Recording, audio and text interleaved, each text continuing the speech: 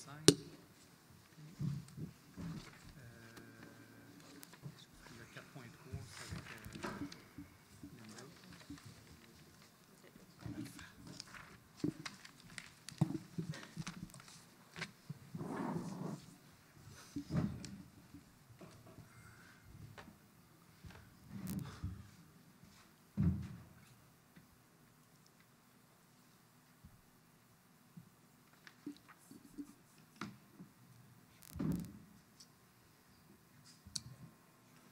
On va débuter l'Assemblée dans 120 secondes.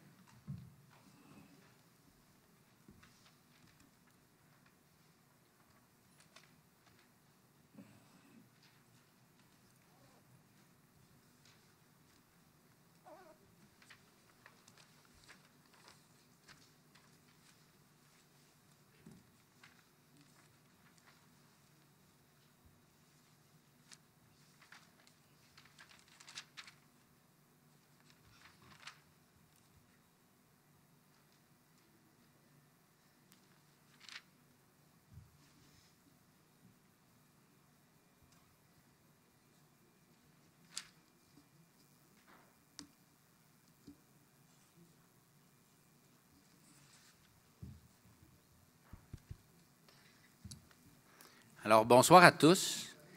Merci d'être présents ici ce soir physiquement en ce lundi de janvier que certains appellent le Blue Monday comme étant la journée la plus dépressive de l'année. Donc, euh, la bonne nouvelle, c'est que dès demain, on va être derrière nous. Cela étant, euh, nous débuterons l'Assemblée par un moment de silence. Donc, euh, ce mois-ci, on est au retour des fêtes. Il y a deux situations qui méritent qu'on prenne ce moment de silence-là. Au mois de décembre, euh, un pilier de notre communauté euh, est décédé, M. Achour. Ceux et celles qui habitent à Saint-Lin-Laurentide euh, ou qui ont habité là, depuis des années ont vu cet homme être dans beaucoup d'activités, puis M. Achour laisse un grand vide. Mais dans un deuxième temps, euh, il est arrivé une tragédie à Saint-Roch-de-L'Ochigan.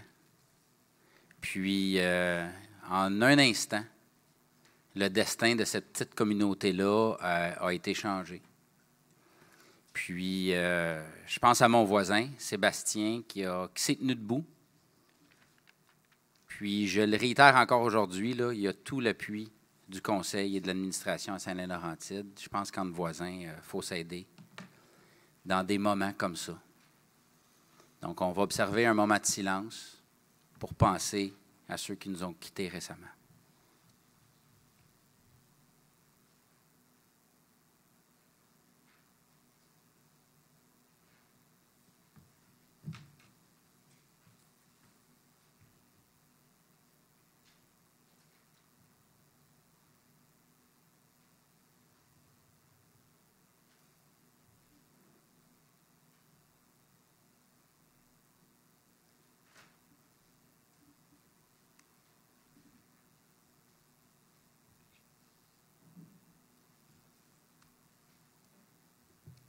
Alors, merci à tous.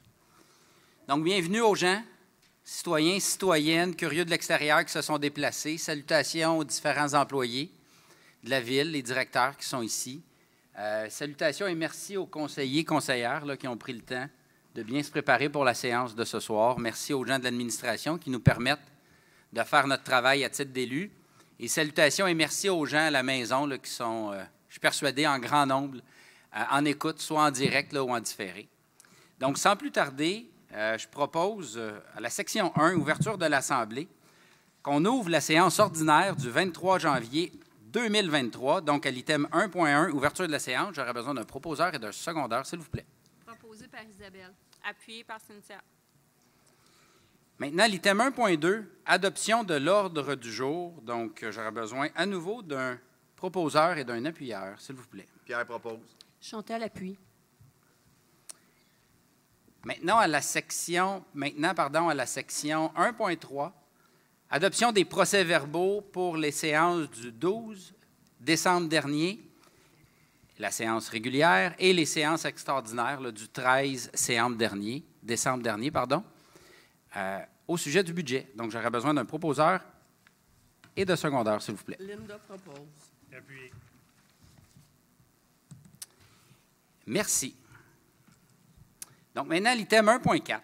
Mot du maire. Premièrement, là, euh, je tiens à excuser l'absence de M. euh, Robert Portugais, le conseiller, qui n'est pas ici présent ce soir, puisqu'il a subi une chirurgie aujourd'hui. Aux dernières nouvelles, tout va bien, donc prompt rétablissement à Robert. Il devrait être de retour dès le mois prochain. Donc maintenant, pour le mot du maire, là, je vais adresser quelques, quelques éléments. Tout d'abord, euh, la nouvelle année.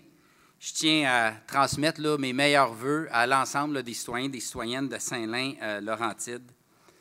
Euh, on souhaite la santé, évidemment, le succès, le bonheur. On parle de santé.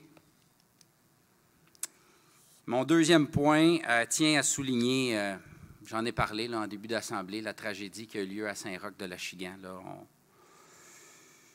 C'est un moment où je pense que toute communauté l'opportunité de démontrer sa, sol- sa solidarité. Les gens de Saint-Roch l'ont démontré, les gens de Saint-Lin aussi.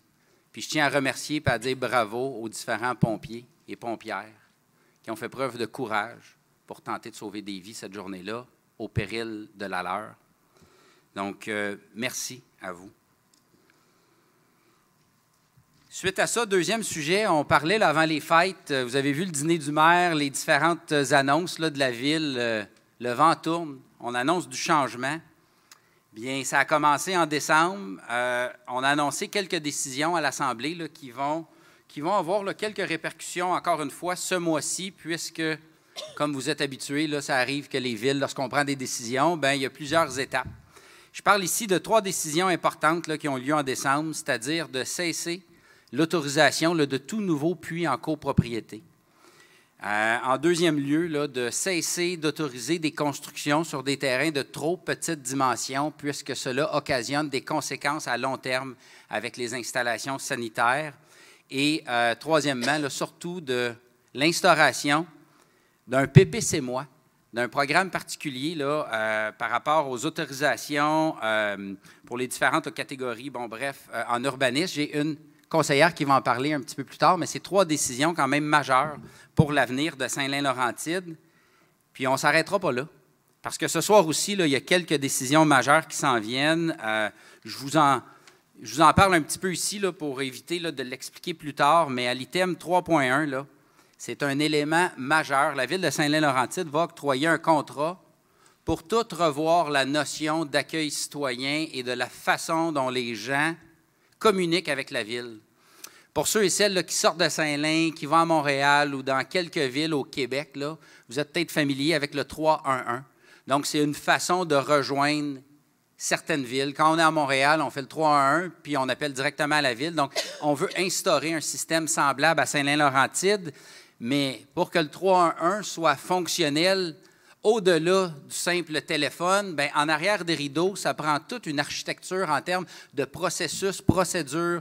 Les 56 raisons pour lesquelles vous appelez à la ville, ben, pour chaque item, il doit avoir des procédures pour savoir à qui s'adresser après que le préposé aura reçu votre demande. À ça, on veut ajouter une ville euh, un peu plus intelligente avec des demandes de requêtes en ligne, par exemple. Un système de flux en continu qui va nous permettre et qui va vous permettre, chers citoyens, après avoir fait une requête à la ville, bien, savoir d'ici combien de temps va être répondue cette requête-là ou où en est l'avancement. En anglais, on appelle ça un workflow. Donc, c'est autant une, notion- de processus interne qu'on va réviser qu'une une notion de prestation de service aux citoyens. Donc, l'entrée en vigueur du 311 devrait être en simultané avec l'ouverture, ou à peu près, là, de notre nouveau carrefour citoyen ou accueil citoyen ou hôtel de ville euh, ben, qu'on veut ouvrir au centre-ville suite à l'achat de la Banque nationale. Donc, je suis très content qu'on puisse donner ce contrat-là ce soir. De plus, en janvier, on va octroyer trois autres contrats qui vont quand même faire une grande différence sur le territoire pour 2023. Le premier, c'est un plan de foresterie urbaine. Donc, pour ceux et celles qui se promènent dans le village, un petit peu partout sur le territoire, là, euh, ben, ça ne prend pas la tête à Papineau pour réaliser qu'on n'a pas tant d'arbres que ça. Il y a des arbres dans le domaine privé, ici et là, que certains propriétaires ont eu la bonne idée de laisser pousser, mais dans le domaine public, puis même dans certains domaines, là, flambant il y a un manque d'arbres. Donc, ça, planter des arbres, c'est une chose, mais savoir quelle essence, puis où les planter, puis par où commencer, bien, c'en est une autre.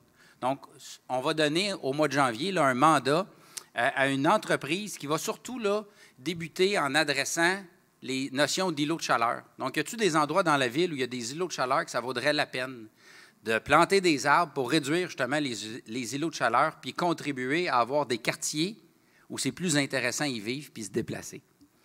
L'autre élément aussi, c'est on donne un contrat pour des pistes cyclables. Imaginez-vous donc. Depuis le temps qu'on en parle, on a un gros plan directeur qui a été fait à la ville il y a environ 5 à 7 ans. On donne un plan pour le remettre à jour, mais surtout pour nous donner là, qu'est-ce qu'on pourrait faire cette année, l'année prochaine, puis dans les cinq prochaines années pour en amener des pistes cyclables, un réseau qui a du sens à Saint-Laurentide. Donc, on donne le contrat dès ce soir euh, à l'item 4.3. On va donner aussi un autre contrat super intéressant par rapport à l'apaisement de la circulation. Vous savez, ça fait les médias, les zones scolaires, là, il y a des enjeux de sécurité. Si vous vous promenez dans les rues de Saint-Lin, vous voyez là, des dos d'âne, euh, il en pousse un peu partout. Là. C'est rendu quand le monde appelle à l'hôtel de ville, on appelle Puro Later, puis on leur ship un dos d'âne. Mais ça, c'est en réaction pour contrôler les comportements euh, erratiques de certains automobilistes. Le problème, on peut le prendre en amont, on peut le prendre plus tôt. Donc, l'entreprise, ce qu'elle va faire, c'est un diagnostic. Ensuite de ça, va mettre en place un plan d'intervention faire un catalogue des différentes interventions et surtout nous amener un plan actionnable pour qu'on puisse faire des devis pour faire une différence dès la rentrée à l'automne prochain. Dans les zones cyclables, certains endroits, les rues collectrices, parfois, ça peut être problématique. Donc, je suis très content qu'on s'adresse à des professionnels pour avoir des bons plans pour, exécuter ce qu'on doit faire pour rendre le territoire encore plus sécuritaire. Ça passe ce soir. Qu'est-ce qui nous permet de faire ça? Bien évidemment, le budget. Euh, vous en avez entendu parler, on a fait une assemblée, une vidéo. Euh, j'ai été interviewé là, au 15-18 euh, il y a quelque temps parce que notre hausse est quand même significative. Saint-Laurentide a été le théâtre d'un gel de taxes pendant plusieurs années successives. Bien, le dégel doit arriver. C'est inévitable la situation était devenue insoutenable. Combien de citoyens ont critiqué la ville par rapport aux services qu'il y avait, aux services qu'il n'y avait pas? Combien de fois que j'ai entendu parler que parfois ça ressemble aux, aux 12 travaux d'Astérix? Bien, on a un budget qui est tourné vers l'avenir. On veut investir dans la communauté.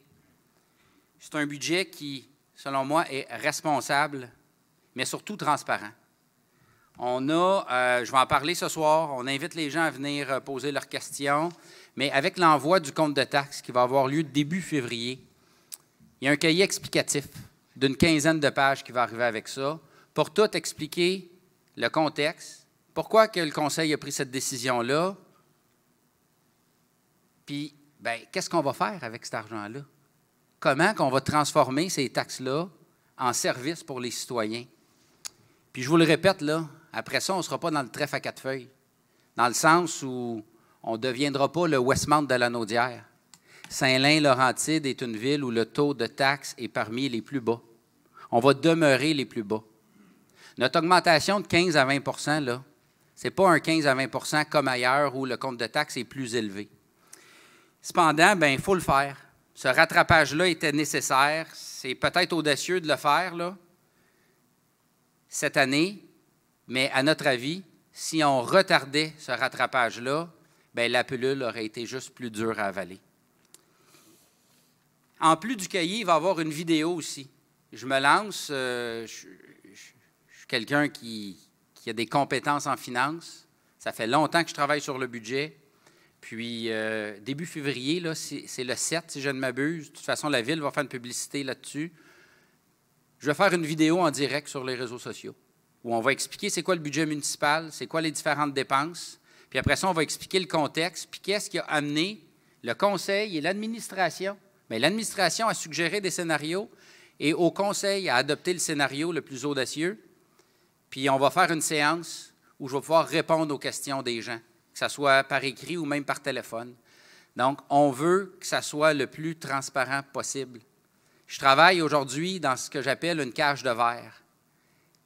Le rôle d'élu, ben, c'est un rôle de fiduciaire du domaine public, puis je n'ai rien de mieux à faire que d'expliquer les décisions qu'on prend. Ce n'est pas la décision de Mathieu, ce budget-là, mais je suis le maire.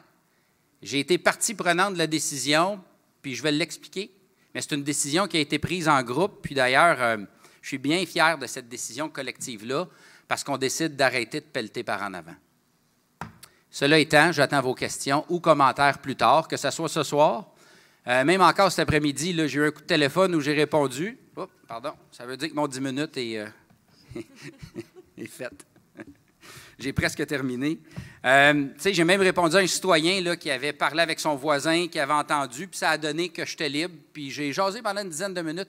N'hésitez pas à contacter, que ce soit le bureau du maire, vos élus, à lire qu'est-ce que la ville vous envoie, ou même à vous présenter sous micro, ou à vous présenter en virtuel à la séance explicative de vidéo. Autre sujet, on a eu des rencontres stratégiques. Euh, et la semaine dernière, là, je suis un peu perdu, c'est pas la semaine dernière, c'est l'autre d'avant, du 11 au 13 juillet, euh, euh, janvier, non, je ne suis pas perdu, 11 au 13 janvier, cela étant des journées stratégiques qu'on appelle souvent un lac à l'épaule. C'est le mot désigné lorsque des élus se rencontrent pour discuter stratégie, discuter d'avenir. Ça a été des journées sous le thème Cultivons l'excellence. On a appris à se connaître un peu plus soi-même, on a appris à connaître un peu plus euh, les autres. Parce que veut, veut pas, euh, on est rendu neuf au conseil, un huit conseillers, un maire. On ne peut pas être toujours en accord. Mais vous nous avez élus pour avancer, puis quand même s'entendre malgré nos différends. Donc, c'est important. Moi, j'ai trouvé ça important d'investir pour qu'on soit capable, en tant que groupe, d'aller chercher une intelligence collective encore supérieure parce que c'est ce que les gens méritent. On en a profité en même temps pour, euh, ben, parler un peu d'occupation du territoire. Vous savez, la question d'aménagement, la question d'urbanisme, c'est une question qui est particulièrement importante, je crois. Bien, on a eu les gens de Vivre en Ville qui sont venus nous expliquer un peu le contexte historique, comment le Québec s'est développé, comment la région métropolitaine s'est développée, puis qu'est-ce qui s'est passé à Saint-Lin les 30, 40, 50 dernières années? Puis ça a été fort révélateur. J'ai presque terminé, là, mais euh, je tiens à souligner que jeudi de cette semaine, il y aura euh, une rencontre stratégique organisée par la direction générale où tous les directeurs et les directrices de la ville participeront. Ça travaille fort à l'administration pour livrer ce que les élus euh, ont comme vision. Puis il y a une stratégie, là, un modèle qui a été mis en place pour les gestionnaires, ceux à la maison, ceux ici qui ont des employés euh, vont savoir ce que je veux dire, la méthode PODC planifier, organiser, euh, diriger et contrôler. Bien là, les directeurs sont dans la planification et dans l'organisation avant la fin du mois de janvier, parce que c'est jeudi, l'ensemble des départements vont avoir planifié leurs activités de 2023.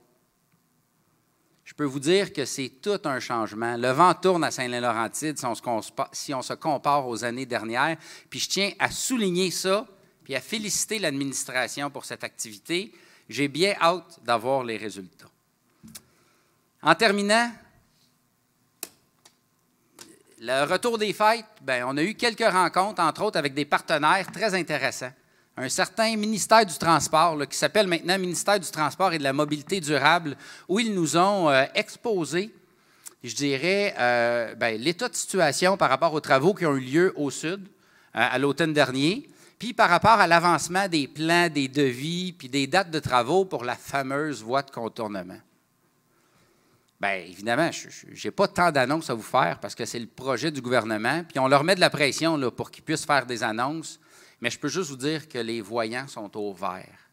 Le drapeau est vert pour nous. Les gens du ministère travaillent fort pour que les citoyens de Saint-Laurentide soient contents des aménagements, puis ça va arriver. Il y a peut-être une nouvelle qu'on a eue, puis je vais en profiter pour vous la partager. On a fait une résolution hein, les mois derniers pour demander au ministère là, euh, de refaire l'asphalte entre la Côte-Grasse puis la 12e avenue, là, en fonction des fameuses roulières puis du fait que c'était dangereux. Il nous a confirmé qu'ils l'ont rajouté à leur planification de travaux. Donc, au courant de l'été, vous devriez voir, on devrait voir un resurfaçage là, euh, de Saint-Isidore ou de la route 335 euh, entre la Côte-Grasse et la 12e avenue. C'est une excellente nouvelle. Puis, on a d'ailleurs aussi parlé en terminale avec nos collègues du centre de services scolaires. J'ai une collègue conseillère qui va revenir sur la nouvelle grandiose qu'il y a eu avant les fêtes mais euh, ils nous ont montré le plan d'aménagement qu'il y avait pour une des nouvelles écoles primaires.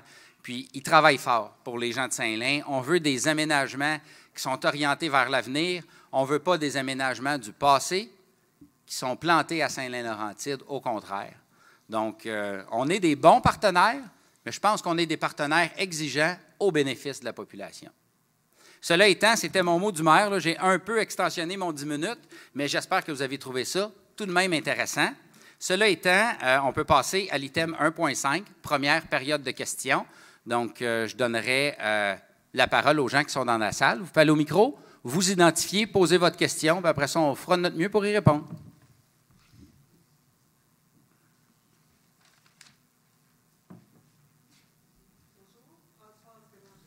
Entendez-vous? OK. Premièrement, j'ai trois petits points à vous amener. Euh, premièrement, qu'est-ce qu'on peut faire ou qu'est-ce que la Ville fait pour des maisons qui étaient des commerces de, de vente d'automobiles qui sont abandonnés et qui, commencent à avoir du vandalisme dessus? Euh, j'ai des photos à vous montrer si jamais vous voulez savoir, entre autres, une des, qui a un madrier qui a défoncé une vitre du deuxième. Euh, OK, il n'y a pas d'autres maisons très proches, mais c'est un beau nez à feu pour des malfaisants. Premier point. Est-ce que vous voulez les enfiler, puis après ça, je réponds? Parfait? Allez-y, deuxième point. Deuxième point, euh, moi, je reste proche du IGA. Puis pas loin de la rue Carole, il y avait un virage interdit à gauche pour rentrer au IGA dans la petite entrée euh, qui va en direction nord. La pancarte est disparue, puis ça rentre allègrement par là. C'est-tu normal ou c'est interdit encore de virer à gauche dans cette petite entrée-là? Je sais que c'est la 335 qui est gérée par le MTQ, mais tu sais, euh, deuxième, hein, ben, troisièmement, c'est un plus beau point. Euh, pour voir dans d'autres municipalités, parce que je me promène en deux municipalités actuellement, notre calendrier est parfait. Peux-tu vous le dire? Surtout pour les collectes, il est très clair, notre calendrier. À d'autres places, c'est fait par la compagnie qui fait les vidanges, puis c'est rien qu'un petit carton ça de large, là, microscopique, il te faut deux lots.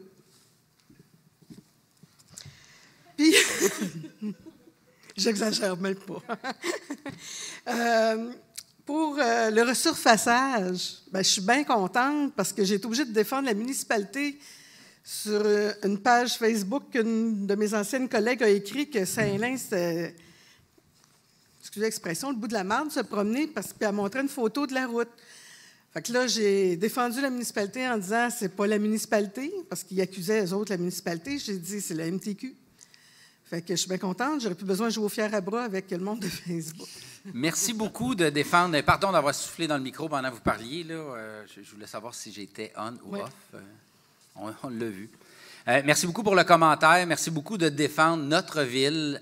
J'aime entendre ça. Ça veut dire que c'est de la fierté.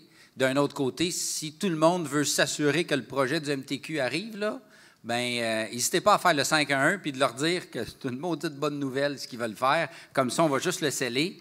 Euh, deuxième commentaire par rapport à votre calendrier. Merci. Je vais lancer les fleurs là, aux gens de l'administration. Euh, je pense, je veux pas si je ne m'abuse, c'est les gens des loisirs là, puis des coms qui ont, qui ont quand même travaillé pas mal là-dessus.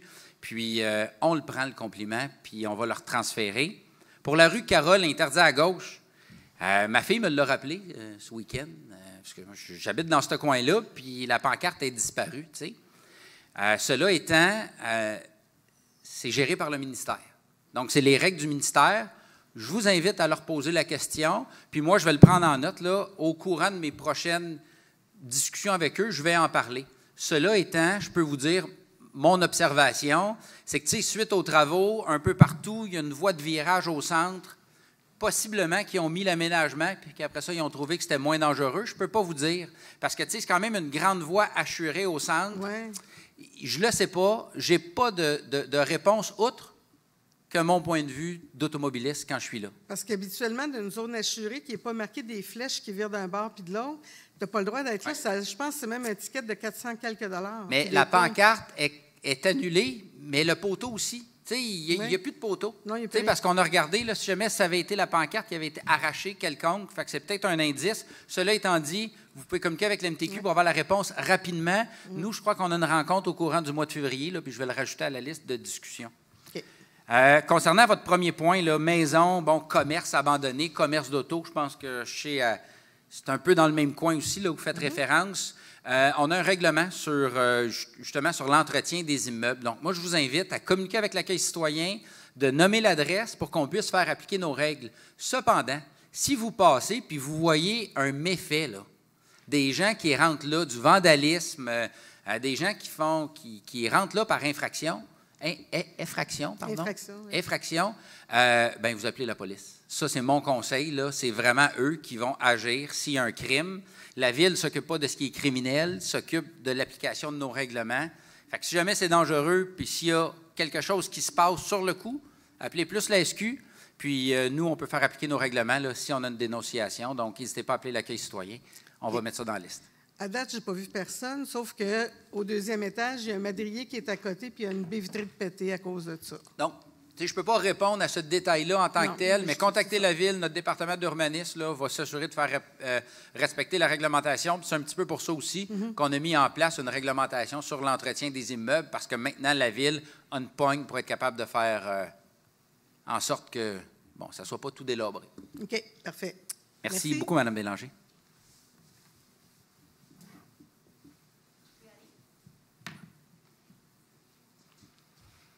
Oui, bonjour. Je m'appelle José-Anne Desroches. Moi, ce qui m'inquiétait un peu, c'est le fameux compte de taxes qu'on a entendu dire qu'elle a augmenté de 20% Et disons que ça m'inquiète un peu parce que je me dis, il y a des gens qui ne pourront pas le payer, là. Euh, c'est quoi, vous allez récupérer les maisons ou les gens vont avoir des problèmes à arriver? Déjà, il y a plein de monde qui, qui ont besoin de l'aide alimentaire puis qui ont de la difficulté à arriver. Ça fait un gros coup. Est-ce qu'il y a moyen de, de que ce soit vraiment absolument le, le- le 20% ou est-ce que ça peut. euh, Madame Desroches, Oui. merci de votre question. oui, J'ai quelques éléments de réponse. oui, je sais. Euh, mais. Est-ce que vous avez d'autres questions à rajouter? Non, c'était surtout par rapport à ça que je suis Excusez-moi, je ne vais pas vous moi. couper non plus. Euh, je vous entends. Puis je suis très conscient. Je peux aller m'asseoir? Oui, oui, oui, oui, certainement. Je suis très conscient que la bouchée est grosse. On est dans une conjoncture où euh, les éléments de la société euh, jouent contre nous, jouent contre vous, bien contre nous tous. Je suis un citoyen avant tout aussi. L'inflation, euh, les hausses du taux directeur. Mais il ne faut pas se mêler d'un pourcentage. Je veux juste vous dire qu'une hausse du taux directeur de 0,25% ça coûte bien plus cher qu'une augmentation de taxes de la ville de 15 à 20 Par contre, le 20% là, tu sais, chaque cas est particulier. Premièrement, Saint-Lin-Laurentide, il y a deux types de résidences. Une qui n'a pas de service de la ville en termes d'aqueduc puis d'égout. Puis d'autres types de résidences, c'est à peu près moitié-moitié. Sur 10 000 résidences, c'est à peu près 5 000 pas de service. Pas ces services-là, puis un autre 5 000 avec les services d'égout et d'aqueduc. Il y a un rattrapage qui est fait. Il y a un rattrapage à plusieurs niveaux. Il y a un rattrapage sur la taxe foncière, mais il y a aussi un rattrapage sur les taxes de service. Utilisateurs-payeurs. Donc, les maisons qui ont l'égout puis qui ont l'aqueduc, ça, c'était systématique depuis des années. La facture que ces gens-là payaient, ben, ce que, pardon, ce que les gens payaient, ça ne payait pas la facture totale. Puis cette année, ben, ce rattrapage-là, c'est ça qui amène le 20% Donc, les gens qui n'ont pas les services d'égout et d'aqueduc, ça va plus être autour du 15% Ceux qui ont les services vrais, ça va être autour du 20% Dépendamment de la valeur des maisons. Chaque cas est particulier, puis c'est pour ça qu'on fait le vidéo un petit peu plus tard. On va regarder chaque compte de taxe s'il faut. C'est entre 15 et 20. Il y en a à 7, Il y en a à 21, 22, les commerces. Fait c'est vraiment en moyenne. La pente va être dure à monter en 2023 avec tout ce que j'ai dit précédemment. Par contre, les scénarios qu'on avait devant nous, c'était tous des scénarios qui impliquaient une hausse de taxes significative. Là, c'est de 15 à 20. Là, le plus bas, c'est 15. On avait quatre scénarios. Le premier scénario, c'était 9. Le deuxième, c'était 11. Le troisième, c'était 13. Le quatrième, c'était 15. Puis le scénario à 9% d'augmentation, puis je vais l'expliquer dans la vidéo, là, ben, le titre du scénario, c'était Retour en arrière. Donc, en augmentant les taxes de 9% cette année, on reculait. On était obligé de couper des postes qu'on avait embauchés, puis on l'a dit, là, la situation était insoutenable. La ville de Saint-Lin-Laurentide a eu une grande croissance de sa population, puis les services n'ont pas nécessairement suivi la cadence. Donc, si le rattrapage n'était pas cette année, c'était inévitable que ce soit l'an prochain ou l'autre année d'après. Puis, à mon avis, à notre avis, ça aurait été encore plus difficile. Fait qu'il y a un rattrapage, c'est cette année. Qu'est-ce qu'on fait par contre? Puis avant de vous dire les mesures, là, c'est important de savoir que quand on se compare, ben, on réalise que le taux de taxe à Saint-Lin est bas. Puis malgré l'augmentation, vous allez pouvoir venir au micro, monsieur, après, pas de souci. Le compte de taxe va rester parmi les plus bas si on se compare au nombre de citoyennes, euh, au nombre de citoyens, pardon, à la grandeur du territoire. Mais cela étant, la réalité, c'est que même si on a le meilleur plan, même si on a le contexte qui justifie cette hausse-là, ben le budget des, des gens, c'est réel. Puis il y a un paquet de facteurs cette année qui fait en sorte que ça ne sera pas facile. C'est pour ça qu'on a mis en place deux éléments qui sont actionnables dès là. Puis, j'ai un, puis on a un point là, à l'item 2.27 où c'est un, un autre élément qu'on veut rajouter. Puis si vous voulez, après, on restera, puis je, vous, expliquerai exactement c'est quoi. Mais dès cette année, il y a deux choses. On passe, on monte le nombre de versements à six. Donc, les gens vont pouvoir payer les taxes en six versements. Ça a pour but de diviser les paiements pour être capable de permettre là, un peu plus de prévisibilité au niveau du budget. Et dans le cas où il y a des gens qui ne pourraient pas payer le compte de taxes, parce qu'il y a d'autres choses qui arrivent en même temps, on a prévu un mécanisme. C'est que ceux et celles-là qui ont un revenu égal ou inférieur à la moyenne du Québec, puis on a des chiffres, bien, ils vont pouvoir appeler à l'hôtel de ville, puis on va être capable de modifier leur profil pour faire en sorte que le taux d'intérêt en cas de non-paiement soit diminué le plus possible. Le taux d'intérêt, si les gens ne paient pas leur taxe, c'est 11% Mais les gens qui vont se qualifier, on va descendre le taux d'intérêt à 3% donc, on veut mettre des mesures d'atténuation pour que ça soit un peu plus, un peu moins dur pour les gens. Mais je ne suis pas ici en train de vous dire que ça va être facile. Je ne suis pas ici en train de vous dire que on ne le sait pas. On le sait, puis ça, a fait partie du processus décisionnel. Par contre, gouverner, c'est faire des choix. Puis les choix qu'on avait devant nous, ben, euh, c'était des choix réels, tangibles. Puis un momentum qui se passe aujourd'hui à la ville. Les élus, l'administration, tout le monde est aligné pour être capable de redresser, pour donner un coup de barre. Puis, je vous fais le pari. Puis je ne dis pas que ça va être facile, là, mais je fais le pari que sur un terme de quatre ans, ça va rentrer dans la normale, les taxes en quatre ans, la hausse, ça va être normalisé, puis les gens vont en avoir pour leur argent. Ça, j'ai la confiance que chaque dollar investi va être travaillé parce qu'à Saint-Lin, on a appris à faire plus avec moins. Puis ça, c'est dans notre ADN. On va rajouter une coupe de professionnels ici et là pour améliorer l'expérience.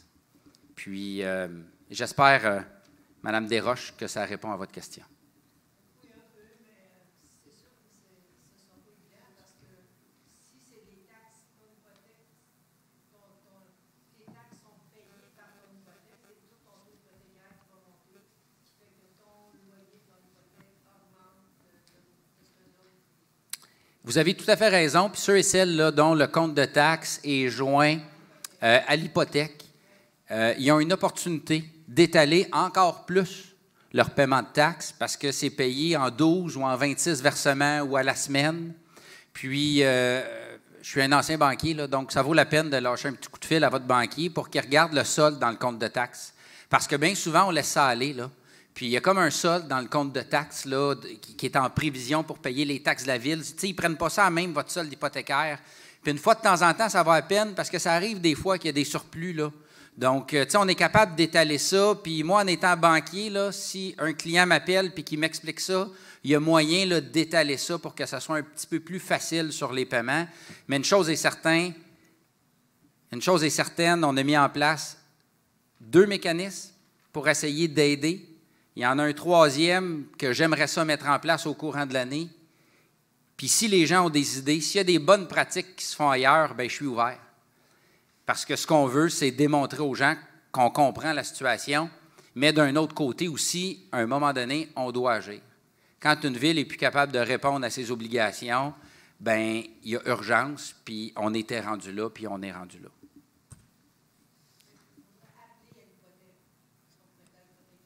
Moi, ce que je vous suggère, c'est la banque avec laquelle vous avez votre prêt hypothécaire. Attendez de recevoir votre compte de taxe. Contactez le conseiller qui est attitré avec votre nouveau compte de taxe et cette personne-là va être en mesure de faire des calculs, d'inclure s'il y a un surplus dans votre petit compte là, déjà, puis être capable d'étaler ça encore plus pour que ce soit un peu plus facile au niveau budgétaire. Votre conseiller à la banque, parce que vous payez vos taxes à la banque. Vous resterez après, ça va me faire plaisir de discuter avec vous, ou vous appellerez au bureau du maire, ça va me faire plaisir de prendre du temps pour discuter, Mme Desroches. J'avais monsieur à l'arrière, est-ce que. Non, je vais m'abstenir, je vais attendre mon compte de taxe. Pas de souci.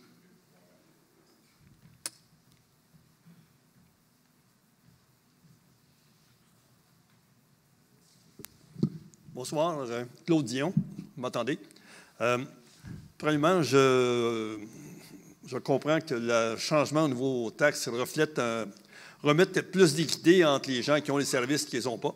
Parce que les gens qui ont les services doivent déjà payer pour leur propre installation, donc ils subventionnaient un groupe de ça. Donc, je pense que j'apprécie qu'on soit plus équitable. Euh, là-dessus, j'ai juste un petit point parler d'apaisement de circulation. Euh, la Ville a acheté ou loué il y a quelques années des euh, genres de radars où on informait l'automobiliste de sa vitesse avec une lumière verte qu'on ne voyait pas souvent, qui, était en deçà de la limite ou une lumière rouge ou jaune qui était un peu au-dessus. Et j'ai jamais vu ce radar-là sur la 158 à l'entrée du village du côté ouest. Et il y a une problématique, c'est que les gens, beaucoup de gens, peut-être ne réalisent pas qu'ils sont au-dessus de la limite de vitesse, ou ils se pensent encore qu'ils roulent en 1000 plutôt qu'en kilomètres. Euh, donc, euh, je me demandais s'il y avait moyen euh, d'installer, d'informer les citoyens avec ce radar-là, ce que je ne l'ai jamais vu dans, dans le secteur.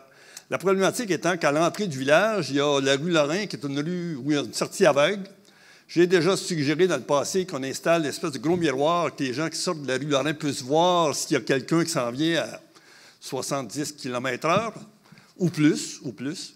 Euh, c'est une question de sécurité. Mais, les gens arrivant très rapidement, il y a une problématique euh, additionnelle au fait qu'on dépasse la limite. Merci beaucoup, M. Dion, pour euh, votre commentaire pour euh, l'équitabilité, euh, l'équité pardon, pour les taxes. concernant votre vitesse, écoutez, on, a des radars mobiles qui sont déplacés en fonction d'une certaine cédule, en fonction des endroits problématiques. on va le prendre en note. J'émets là, une hypothèse, là, possiblement qu'il y aurait une difficulté à mettre ça là, près des routes qui appartiennent au ministère. Donc, je ne peux pas vous dire, là, j'aimais l'hypothèse parce que de mémoire, là, ça fait quand même un bon bout, je suis au conseil. Puis je ne me rappelle pas de l'avoir vu sur le bord de la 335 Saint-Isidore, ni Rivière-Nord. Par contre, rien n'empêche de faire, un, la demande, ou deux, même de demander au MTQ de venir planter leur propre radar, là, s'il faut. Là.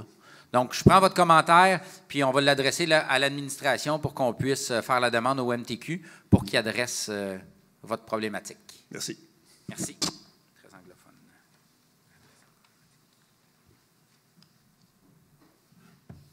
Merci. Est-ce que nous avons d'autres questions dans la salle?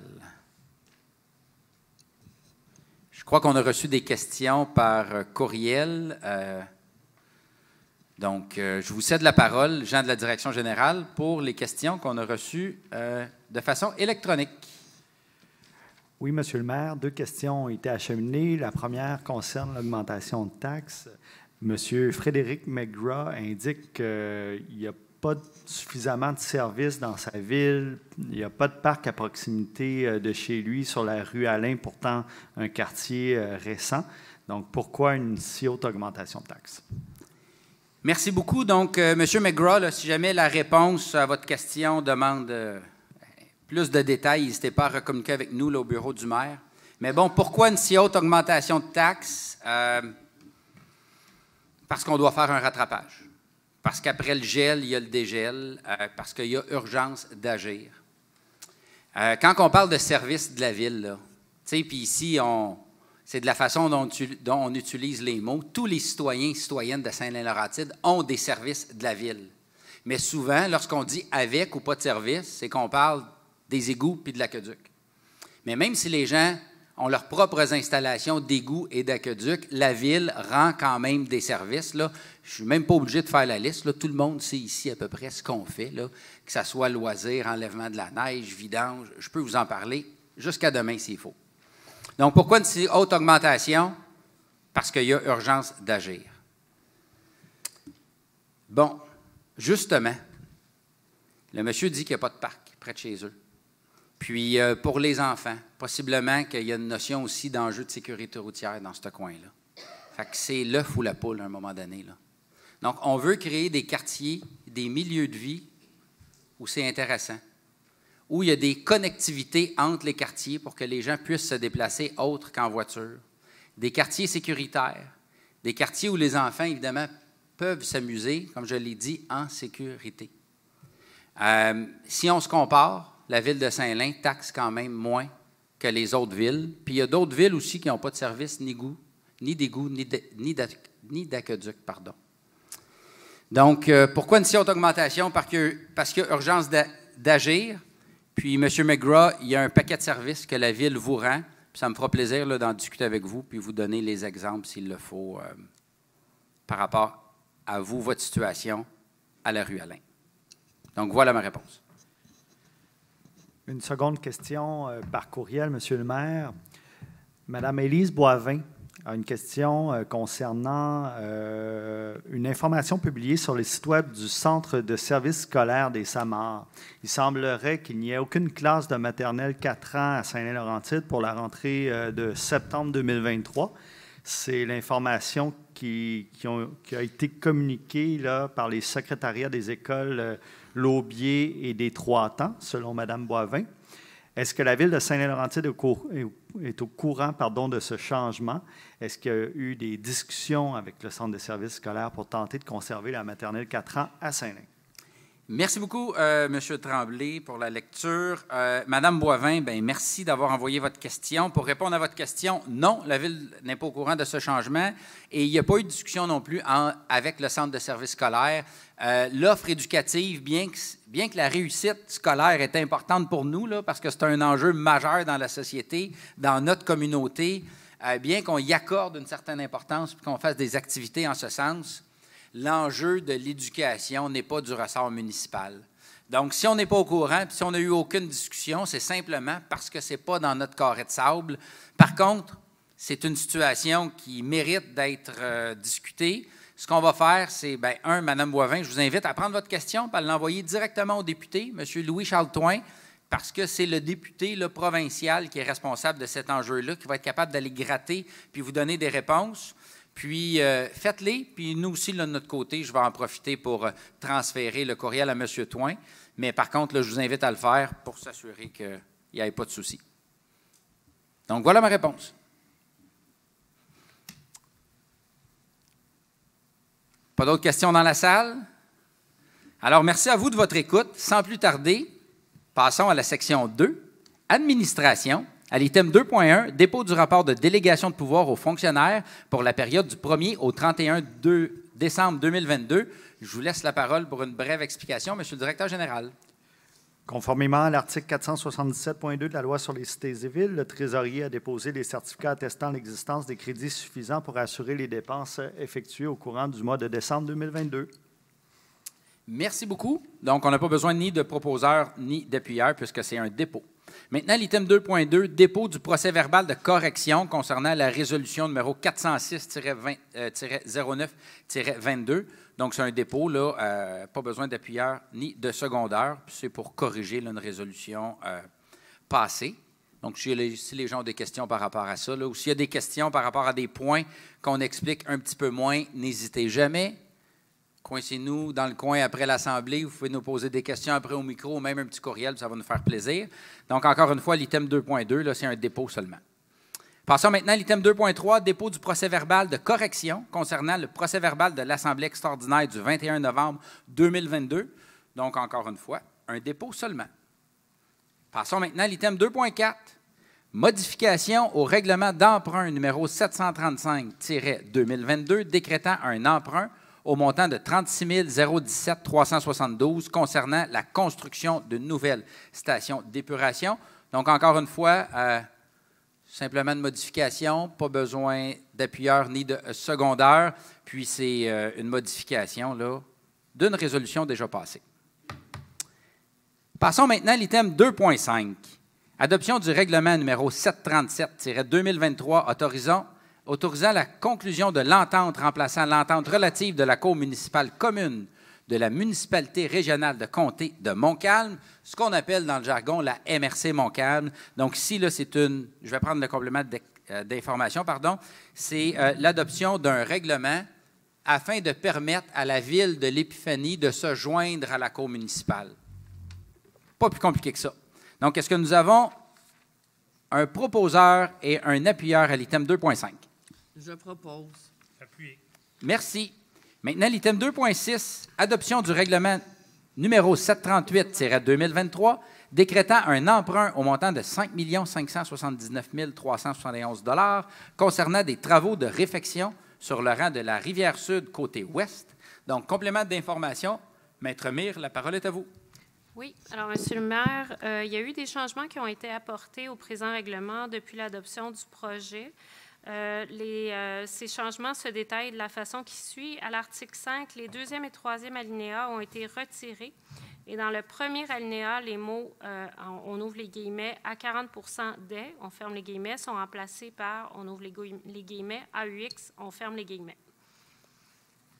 Merci. Est-ce que nous avons un proposeur et un secondaire? Pierre propose. Chantal appuie. Merci. Maintenant, l'item 2.7, adoption du règlement numéro 739-2023 décrétant l'imposition des taxes foncières générales et spéciales, redevances et compensations pour, fourniture des services municipaux en général et pour les immeubles non imposables durant l'année 2023. Donc, complément d'information. Je vous retourne la parole, Maître Mire. Oui. Euh, alors, je, veux juste vous expliquer, ça semble formel, c'est que pour faire ces modifications-là, par résolution, il faut les nommer euh, lors de, de, l'Assemblée. Alors, euh, les changements qui ont été apportés au présent règlement depuis l'adoption du projet sont les suivants. À la page 2, à l'article 8, le premier alinéa, paragraphe 1, le premier point de forme est modifié pour retirer le nom du propriétaire et pour y inscrire plutôt l'adresse concernée. Le deuxième point de forme est modifié pour retirer des chiffres qui n'étaient plus utiles d'inscrire pour identifier le matricule. Le troisième, le troisième point de forme est modifié pour remplacer le numéro de matricule qui n'était pas le bon et en lien avec l'adresse. À la page 4, à l'article 10, le premier alinéa, dans la première phrase, les numéros d'articles ont été ajustés pour être pleinement représentatifs. À la page 7, article 20, dans le tableau de la liste des immeubles exemptés du service de la dette concernant le matricule 85 79 22 81 04, un numéro de cadastre a été ajouté, soit le 2 568 066 et le matricule 84 77 83 22 79 a été retiré de la liste.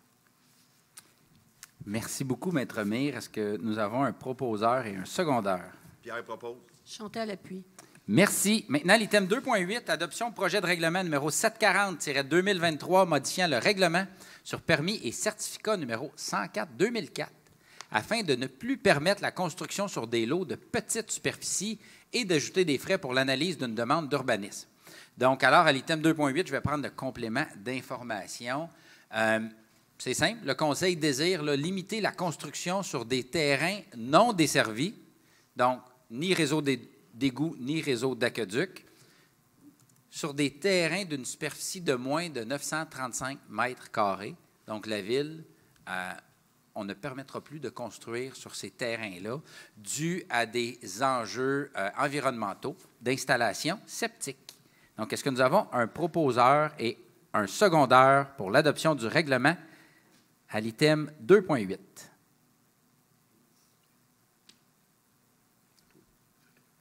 Chantal propose. Pierre appuie. Merci. Maintenant, l'item 2.9, adoption du projet de règlement numéro 741-2023 concernant les projets particuliers de construction, de modification ou d'occupation d'un immeuble. Donc, encore une fois, là, c'est la suite d'une réseau qu'on avait adopté en décembre dernier, qui a pour but d'amener un mécanisme permettant à la Ville euh, de négocier avec des gens qui auraient un projet qui n'est pas permis dans les règlements, euh, par les règlements de zonage. Donc, euh, permettant là, de faire divers projets tout en contrôlant nos exigences. Puis j'ai une collègue au conseil là, qui va en parler davantage un petit peu plus tard. Donc, est-ce que nous avons un proposeur et un secondaire à l'item 2.8 pour le règlement numéro 740-2023? Oui, à l'item 2.9, je propose. 2.9, excusez-moi, pour le règlement 741. Appuyé. Merci. Passons maintenant à l'item 2.10. Adoption du premier projet de règlement numéro 742-2023, modifiant le règlement de lotissement numéro 102-2004 afin de ne plus permettre la subdivision d'un lot partiellement déservé par un puits en copropriété. Donc, encore une fois, je vais prendre le complément d'information. C'est la suite d'une décision qui avait été émise en décembre dernier où la Ville annonce qu'elle cessera d'accorder des permis de construction sur des lots desservis par un puits en copropriété. Donc, est-ce que nous avons un proposeur et un secondaire à l'item 2.10? Linda propose. Appuyé. Merci. Maintenant, l'item 2.11, augmentation des taux 2023 pour les services d'aqueduc eau potable pour différentes catégories d'immeubles de la ville de Saint-Lin-Laurentide. Donc, euh, à l'item 2.11, là, j'en ai touché tantôt en, répondant à certaines questions, mais il y a des utilisateurs payeurs pour des services d'aqueduc, puis on doit ajuster la tarification afin que ça soit équitable. Donc, euh, est-ce que nous avons un proposeur et un secondaire à l'item 2.11? Isabelle propose. Toujours dans le même principe, 2.12, augmentation des taux 2023 pour les services d'égout, donc eau usée pour différentes catégories d'immeubles de la ville de Saint-Lin-Laurentide. Donc ici, pour moi, c'est quand même important de mentionner que plusieurs catégories euh, d'utilisateurs pour les égouts. Évidemment, il y a les gens domestiques, les résidences, mais on a aussi là, des industries et des commerces qui utilisent euh, nos réseaux d'égouts et les tarifs là, sont euh, en conséquence de leur utilisation, bien entendu. Donc, est-ce que nous avons un proposeur et un secondaire à l'item 2.12? Euh, Luc propose. Cynthia appuie. Merci. Maintenant, euh, pour les items de 2.13 à 2.21, c'est regroupé pas mal dans la même catégorie, ressources humaines, embauche. Bref, je donnerai avant, euh, avant d'aligner les différentes propositions, j'inviterai Mme Marie-Claude Sénéchal à offrir le complément d'information. La parole est à vous. Plusieurs euh, embauches seront entérinées par le conseil municipal lors des prochains points, que ce soit pour des postes permanents à l'administration, aux travaux publics, aux services techniques ou pour des embauches de préposés à la surveillance des patinoires, au service des loisirs ou au complexe aquatique. Votre arrivée au sein de notre organisation consolide notre équipe et nous permet de rendre le meilleur service aux citoyens. Bienvenue parmi nous et merci d'avoir choisi la ville de Saint-Laurentide comme employeur.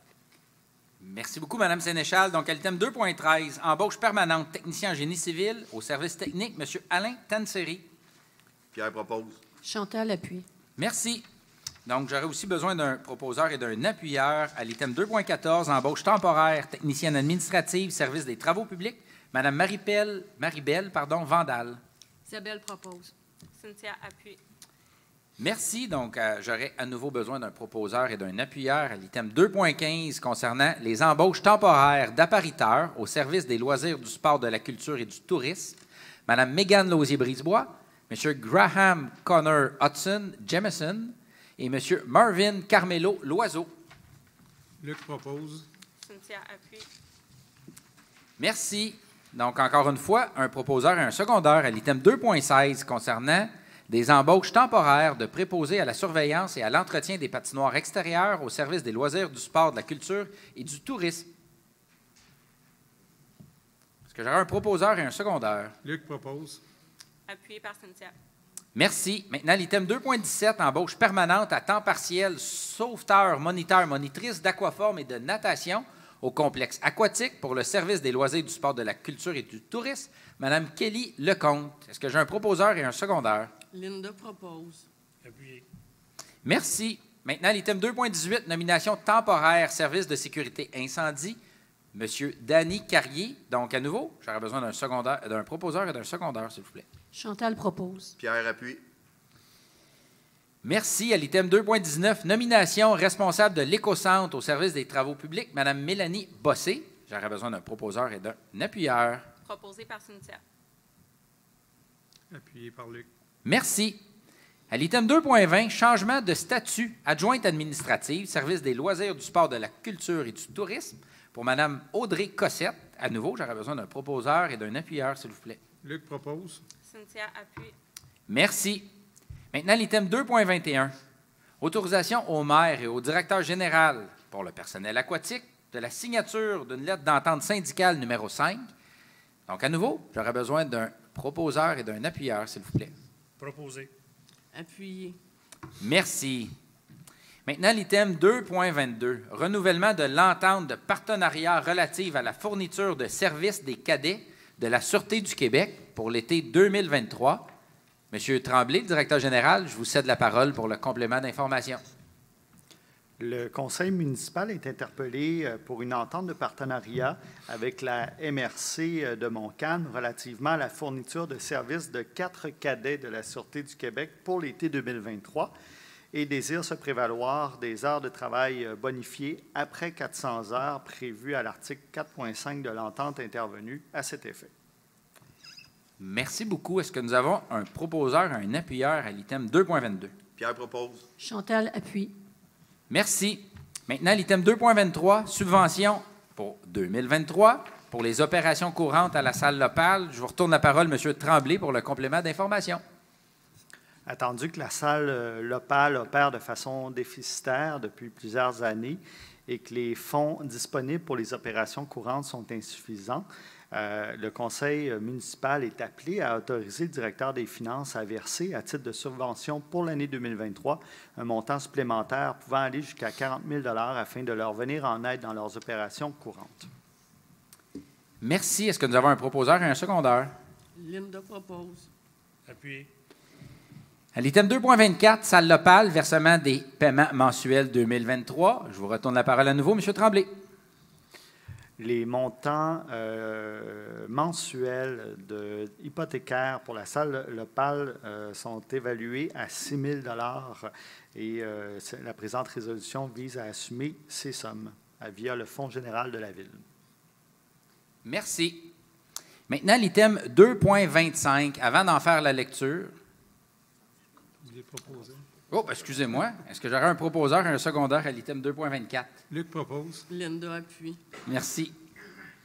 Maintenant, l'item 2.25, pardon. Euh, avant de débuter la lecture et de procéder euh, à l'adoption ou au vote, euh, on a deux conseillères là, qui aimeraient euh, Dire quelque chose, oui. dire quelque chose, oui. Euh, Allez-y, euh, Maître Harrison. Oui, moi, je vais me retirer, en fait, pour ce point-là, euh, pour empêcher là, toute apparence de conflit d'intérêts, considérant que mon mari siège sur le conseil d'administration. Merci beaucoup. Je céderai la parole à Mme Isabelle Auger. Moi aussi, je vais me retirer puisque je siège à titre de citoyenne élue, puisque l'ARENA, c'est un OSBL, donc je suis impliquée à titre de citoyenne, donc je me retire pour conflit d'intérêts. Et je tiens à préciser là, que et, euh, Mme Harrison-Tessier et Mme Auger euh, se sont retirés lors des discussions en plénier. Donc, cela étant, euh, 2,25, Centre sportif Saint-Lin-Laurentide, versement, paiement mensuel 2023. Euh, Monsieur Tremblay, je vous retourne la parole pour le complément d'information, s'il vous plaît. Au même titre que, euh, qu'expliqué précédemment pour la salle locale, le Conseil doit statuer sur le paiement euh, des versements hypothécaires du Centre sportif Saint-Lin-Laurentide au montant de 6 000 et ce pour le premier trimestre de l'année 2023. Donc, est-ce que nous avons un appuyeur, euh, pardon, un proposeur et un appuyeur à l'item 2.25? Linda propose. Luc appuie. Merci. Donc, Mme Auger et Mme Harrison-Tessier sont réputées être revenues dans l'Assemblée pour le point 2.26, qui est contrôle animalier 2023 SPCA, mon animaux. Euh, complément d'information, Mme Maître Stéphanie Mire, je vous cède la parole. Oui, monsieur, euh, monsieur le maire. J'allais dire monsieur le juge par habitude, mais bon. Euh, attendu que le contrat de service de contrôle animalier pour l'année euh, 2022 avait dû être résilié abruptement et en cours de contrat en vertu d'allégations qui avaient été formulées par la société civile et qui avaient pour conséquence d'affecter la réputation de la ville et de potentiellement compromettre la qualité des services offerts aux citoyens.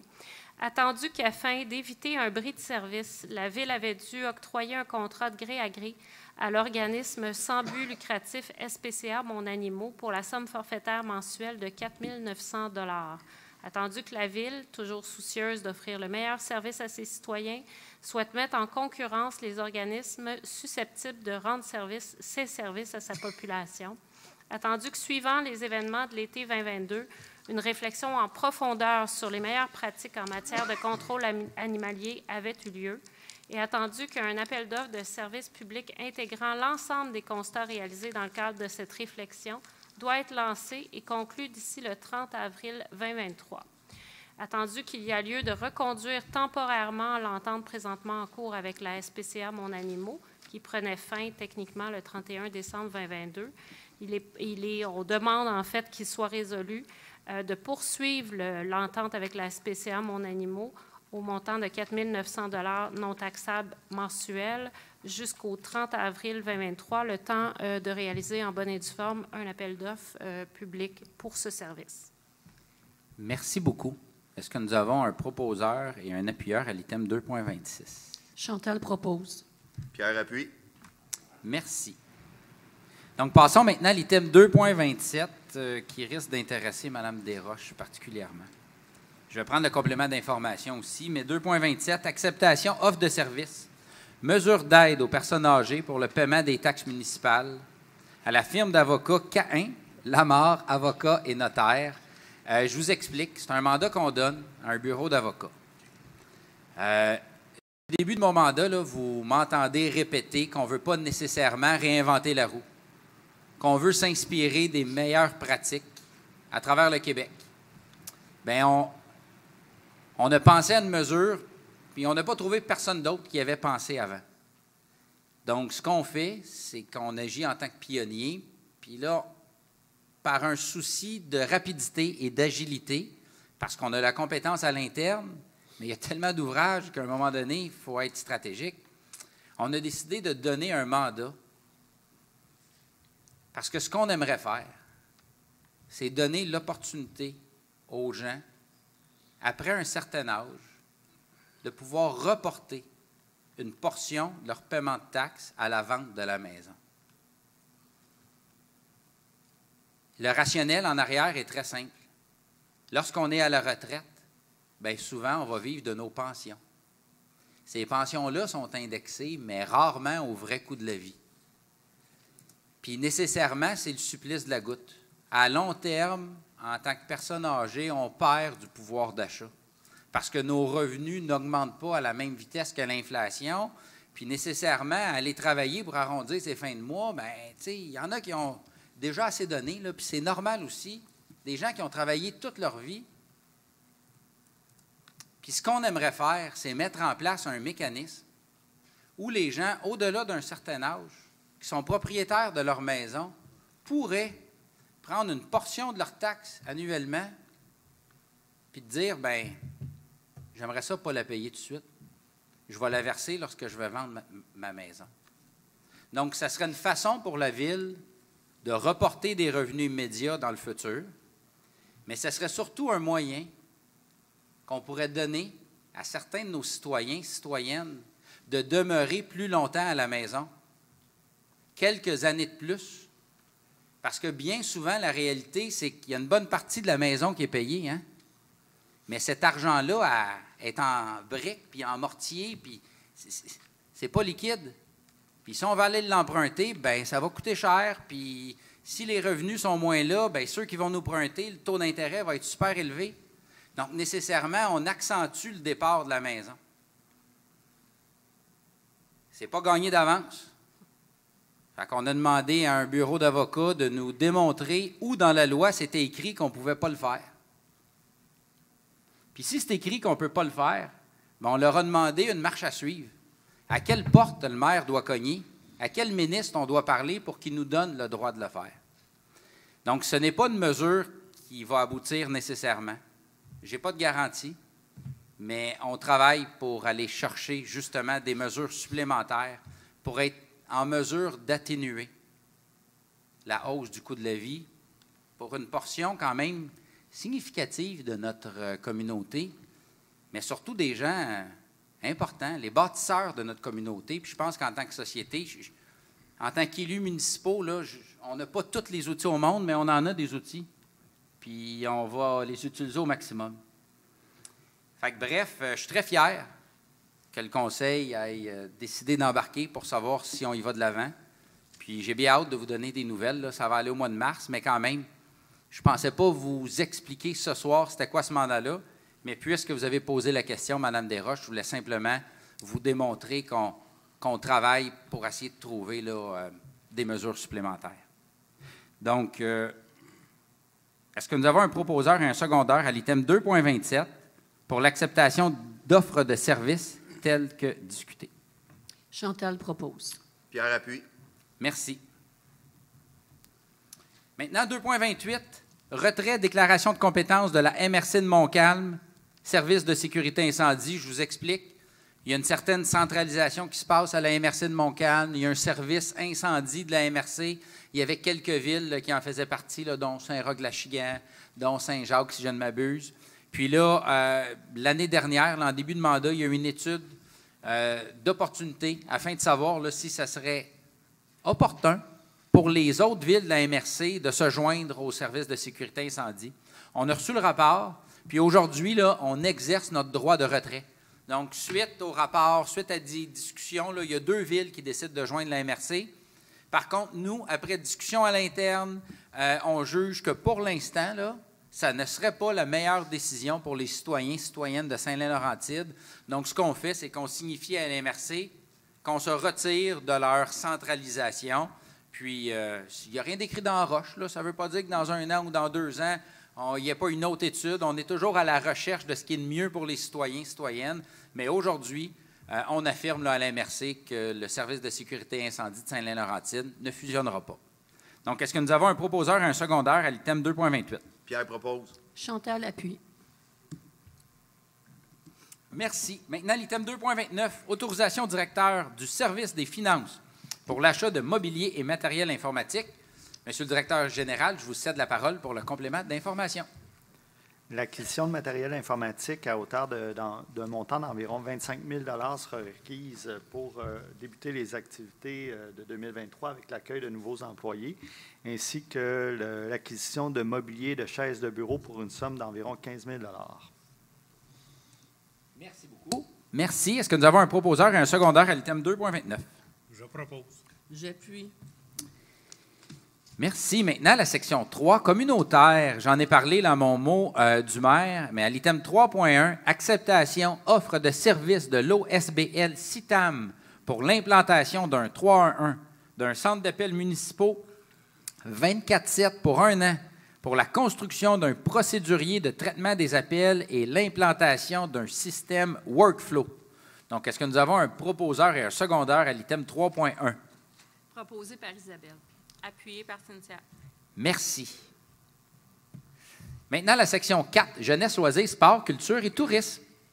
À la section 4.1 et 4.2, il y aura explication au préalable euh, par Mme Marie-Claude Sénéchal. Alors, sans plus tarder, je vous passe la parole. Il s'agit simplement de renouveler notre. euh, je vais m'étirer le plus possible. hein? C'est correct. Il s'agit de renouveler notre membership à l'Association des euh, responsables aquatiques du Québec et à l'Association québécoise du loisir municipal. Ce sont deux organismes de référence pour euh, toute l'équipe du service des loisirs. Merci beaucoup. Donc, à 4.1, dépôt, euh, Association des responsables aquatiques du Québec, adhésion 2023. Donc, c'est un dépôt. Pas besoin d'appuyeur- de proposeur et de secondaire. Et à l'item 4.2, idem, dépôt, Association québécoise du loisir municipal, adhésion 2023. Passons sans plus tarder à l'item 4.3, acceptation offre de services, mise à jour du plan directeur du réseau cyclable et réalisation des plans et devis de la phase 1. Karine, architecte paysager, CAP Inc. Et je passe la parole sans plus tarder à Michael Tremblay pour le complément d'information. Le mandat offert consiste à produire un document complémentaire au plan directeur de 2015. Donc, il ne s'agit pas d'en faire une refonte complète, mais de le réviser. On va intégrer les éléments suivants, les recommandations d'aménagement pour euh, aménager, les liens piétonniers liés au transport interrégional euh, d'autobus, synthétiser les types d'aménagement en fonction des caractéristiques communes sur l'ensemble du territoire, ainsi qu'ajouter un plan pour le secteur sud à desservir. On va porter une attention particulière là, au, au nouveau secteur scolaire et au secteur du centre-ville, ainsi que les nouveaux parcs qu'on prévoit aménager. On va aussi prévoir de, se relier, de, de relier notre réseau cyclable à celui des municipalités environnantes. On va rechercher à sécuriser les réseaux environnants à l'intérieur aussi de notre euh, propre ville en s'intéressant aux corridors scolaires, mais aussi en aménageant mieux les pourtours des, euh, pistes cyclables. Donc, euh, peut-être profiter de certains aménagements de pistes cyclables pour faire de nouveaux parcs, des places de repos, verdir davantage, etc. Puis, évidemment, on veut prendre en compte la consultation citoyenne pour chacun des secteurs de la ville dans le développement du plan du réseau cyclable. Puis, on va réaliser à l'intérieur de cette étude-là un, un phasage des travaux sur une période de cinq ans, avec l'objectif de déjà débuter les travaux à l'été 2023. Je dis wow, puis je dis bravo. Euh, merci à l'équipe de l'administration. Euh, merci aux gens là, qui sont euh, ben, la personne qui est chargée de projet. Là. Les élus ont des idées, ont des projets. Ceux qui habitent à Saint-Lin depuis longtemps puis qui suivent les campagnes électorales, je n'avais pas l'âge de voter, puis on parlait de pistes cyclables. De ça découle un plan directeur, qui est une vision, qui est des endroits où on pourrait passer, qui sont évalués par des professionnels. Et là, on passe à l'étape où ben, plan de vie, puis la phase 1, l'année 1, l'année 2, l'année 3, c'est très concret, c'est très précis. Je suis vraiment fier de ça. Je dis merci à l'administration, puis euh, j'ai bien hâte de voir les réalisations. Et il y aura certainement des consultations parce que, ben, ça se veut un aménagement qui se doit d'être utilisé par les citoyens et citoyennes. Donc, le point de vue des citoyens et citoyennes est un intrant essentiel dans l'équation. Donc, est-ce que nous avons un proposeur et un secondaire pour cet item? Oui, euh, vraiment content et euh, fier de cette euh, résolution. Euh, je la propose. Et moi, je l'appuie, puis je suis tout aussi fière que mon collègue. Merci. Maintenant, à la section 5, voirie et services techniques, à l'item 5.1, Ministère des Transports du Québec, permis de voirie 2023, complément d'information. Je vous passe la parole, Madame Stéphanie Chrétien. Oui, donc euh, cette demande de permis a pour but euh, de permettre à la Ville d'exé- d'exécuter des travaux dans l'emprise des routes entretenues par le MTQ. La Ville doit obtenir une permission du ministère pour intervenir sur les routes entretenues par le MTQ. Merci. Est-ce que nous avons euh, un proposeur et un secondaire à l'item 5.1? Pierre propose. Chantal appuie.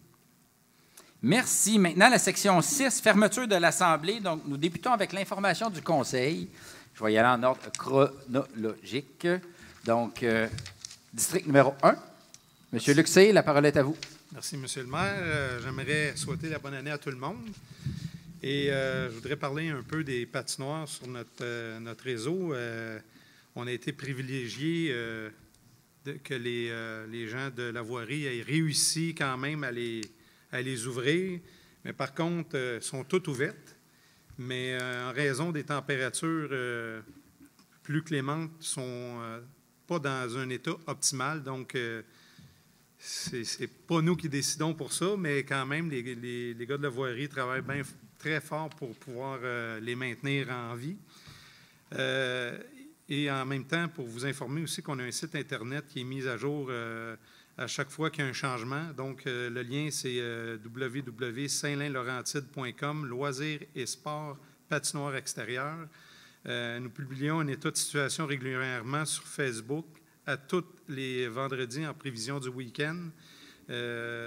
bon à savoir, c'est que tout est un, c'est tout un défi pour les, les voyons, excusez-moi, pour nos euh, gars de la voirie de maintenir les patinoires avec les températures actuelles. Puis, euh, euh, je vais les énumérer pour ceux qui ne qui savent pas qu'il y a des patinoires à ces endroits-là. Il y a le parc Gagnon qui est ouvert sur la rue Gabriel, le parc Jade Chaillé-Côté sur la rue des Pinsons, des parc Villa Bernier sur la 9e avenue, Sentier glacé aussi également sur la 9e avenue. Parc Robert-Simard dans le domaine CLC euh, sur rue Latour. Parc Morneau-Lefebvre, euh, rue Lacroix, Roméo-Lapierre. Parc Saner, chemin Saner, près de la côte Saint-Ambroise. L'école Laubier, chemin Saint-Alissas. Euh, parc Harvey-Auger, Cité des Pins. Et sur la rue Marc-Aurel-Fortin. Parc Domaine Villemont, près du lac. Donc, sont toutes ouvertes, mais euh, il peut y avoir des changements. Donc, euh, si vous, euh, vous pensez que c'est pas ouvert, vous avez juste à consulter le site Internet, puis vous allez voir, c'est mis à jour souvent. Merci. Merci beaucoup, M. Cyr. On se voit ce week-end en patin? Peut-être pas tout de suite. Merci. Pour ceux qui ne savent pas, M. Cyr a eu une opération au genou. c'est pour ça qu'on fait un beau clin d'œil. je passerai la parole maintenant à la conseillère du district numéro 2, Mme Cynthia Harrison-Tessier. Oui, en fait, euh, je voulais vous parler du euh, point 2.9, en fait, euh, qui est le règlement pour les projets particuliers, le PPC moi dans le jargon. je voulais vous lire un extrait là, parce que pour moi, c'est frappant. Ça marque vraiment un changement dans les façons de faire et dans les façons de développer notre ville pour le futur.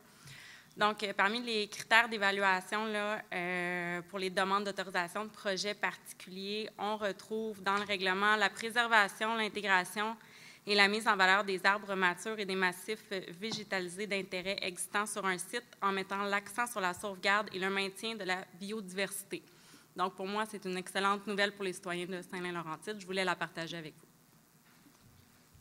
Merci beaucoup, Mme Harrison-Tessier. Certainement que c'est une bonne nouvelle passerai maintenant la parole à la conseillère du district numéro 3, Mme Linda Paul. La parole est à vous. Bien, bonsoir. Et en premier lieu, une bonne et heureuse année. Hein. De la santé, le reste va venir. Tout le mois de janvier, vous pouvez être rejoint par téléphone ou par Internet. Il y a présentement un sondage léger. Et le but, leur objectif, c'est de connaître votre avis. On veut faire avancer la ville, mais en même temps, ça serait, si vous avez la chance d'être rejoint, de répondre, et ce n'est pas des fraudeurs, vous pouvez le faire euh, sans problème, que c'est mandaté par la Ville. Merci beaucoup, Mme Paul. Et oui, le, message, c'est que la Ville a donné un mandat, une firme de sondage. Donc, euh, si vous recevez un appel à la maison, euh, c'est légitime. Merci beaucoup. Donc, Monsieur Chrétien, conseiller au district numéro 4, nous sommes heureux de vous revoir avec nous. Je vous cède la parole. Bonsoir. À partir du 31 juin, la Ville débute une campagne de recoupement de recrutement pour, pour les emplois étudiants 2023. Il y a environ 45 postes différents de disponibles. Et pour plus d'informations, juste aller sur le site de la Ville. C'est à partir du 31 janvier. Merci. Merci beaucoup, euh, M. Mario. Je crois que vous avez fait un lapsus au départ. Euh, comme moi, tantôt en juillet, là, on, nous, on se voit trop en été. Mais non, la campagne débute mardi prochain, le 31 janvier. Tu dis juillet? Les jeunes qui sont ici, là, les jeunes étudiants dans la salle, j'en vois deux, trois, certains au moins. Euh, ou si vous avez des enfants, des petits-enfants, les gens à la maison, c'est le temps, là, des jobs de qualité, que c'est bon à mettre sur le CV. Puis c'est le fun en plus. Il y a des jobs qui vont travailler tout l'été à l'extérieur. Donc, euh, il y en a presque une cinquantaine. C'est le temps, là. On commence tôt, de bonne heure. S'il y a des gens de Saint-Lin qui étaient habitués à aller travailler dans les autres villes, là, bien, cette année, on a décidé de commencer quand même assez tôt pour aller les recruter, justement. Venez voir ce qui se passe chez nous, vous allez voir, c'est le fun. Puis qui sait, peut-être que le futur directeur général ou le futur maire euh, sera un étudiant cet été dans notre organisation. On ne sait jamais. Donc, je passerai maintenant la parole. euh, évidemment, on va excuser l'absence euh, de M. Portugais, représentant du district numéro 5. Donc, je passerai immédiatement la parole à Mme Isabelle Auger, conseillère au district numéro 6. La parole est à vous. Merci, Monsieur le maire. Euh, moi, je voulais faire l'annonce que euh, dans la semaine du 30 janvier prochain, soit pendant la semaine de relâche, il y aura inscription pour le camp de jour. Alors, euh, ça va débuter. Et c'est ça, le camp de jour pour l'été prochain. Et la ville a été le théâtre d'une grande, grande annonce le 14 décembre dernier. Alors, pour avoir siégé au Conseil des commissaires et pendant six ans et d'avoir représenté les parents de la région et les étudiants, c'était avec grande fébrilité qu'on a reçu la grosse, grosse annonce le 14 décembre dernier que Saint-Lin-Laurentide a été sec- sélectionné pour l'emplacement de la nouvelle école secondaire. Seigneur qu'on l'attendait, ça fait longtemps. Alors, euh, pour ceux qui n'étaient pas au courant, oui, on va l'avoir enfin, notre école secondaire. Alors, c'était tout. C'était une excellente nouvelle. Merci beaucoup. Puis si vous me permettez de corriger votre premier point, la semaine prochaine, c'est les inscriptions pour le camp de jour de la semaine de relâche. Donc, c'est ça, les camps de jour, euh, c'était- les bons mots, mais l'ordre. Euh, donc, ceux et celles qui voudront inscrire leur enfant au camp de jour pour la semaine de la relâche, c'est la semaine prochaine que ça se passe. Évidemment, il y aura des camps de jour cet été aussi. Puis l'inscription va être un petit peu plus tard. On va vous en parler en temps opportun. Et merci beaucoup euh, pour votre prise de parole, Mme Auger. Je passerai maintenant la parole au conseiller du district numéro 6, M. Pierre Lortie. La parole est à vous. Merci, Monsieur le maire. Bonsoir à tous. Aujourd'hui, je vais vous parler d'un événement familial qui va euh, débuter dès le 3 février prochain jusqu'au 3 mars prochain. On parle du Festiflocon. Euh, J'ai la programmation avec moi. Je vous invite quand même à aller voir sur le site Internet à partir de demain. Euh, information concernant cet événement-là va être disponible. Donc, ça commence le vendredi euh, 3 février avec la marche au flambeau au parc éco-touristique à 19h. Ensuite de ça, le 5 février, euh, c'est la bataille de boules de neige au parc Ovila Bernier de 13h à 17h. Euh, le 11 février, patinoire animée. Le, contexte va être années 80-90, toujours au parc Ovila Bernier de 18h à 21h. Prochain événement, le 25 février, heure du compte de 10h à 11h. Fête des neiges, parc Ovila Bernier de 13h à 16h. Le 26 février, snow skate au parc Ovila Bernier de 13h à 16h. Et la clôture au- à la patinoire sentier illuminé de 16h à 21h. Feu d'artifice prévu 19h.